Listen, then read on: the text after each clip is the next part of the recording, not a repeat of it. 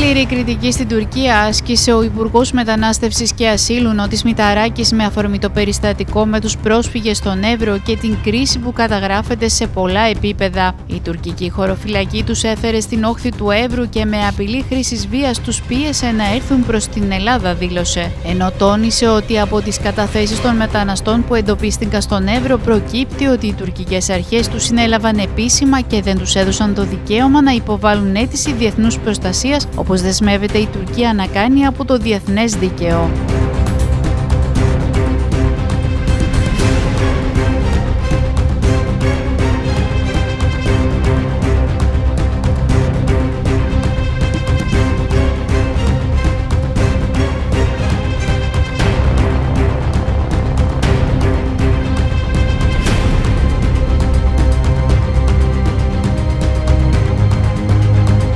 Βρέθηκε μια ομάδα 38 μεταναστών, 35 Σύριοι και 3 Παλαιστίνοι που εισήλθαν στο ελληνικό έδαφος.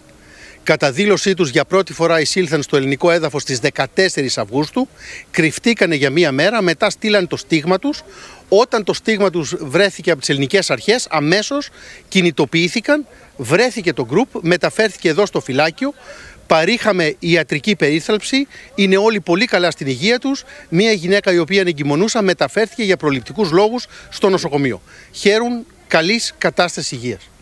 Το δεύτερο πολύ σημαντικό που προκύπτει από τις καταθέσεις τους είναι ότι ήρθαν στα τουρκικά ε, όχθη του ποταμού και σπρώχθηκαν προς την ε, νησίδα από τις τουρκικές αρχές. Επισήμως οι τουρκικές αρχές συνέλαβαν αυτούς τους μετανάστες εντός Τουρκίας, δεν τους δώσαν το δικαίωμα να υποβάλουν αίτηση διεθνούς προστασίας όπως δεσμεύεται η Τουρκία να κάνει από το διεθνές δίκαιο. Αντίθετα η τουρκική χωροφυλακή τους έφερε στην όχθη του Εύρου και με απειλή χρήσης βίας τους πίεσε να, μετα... να έρθουν προς την Ελλάδα.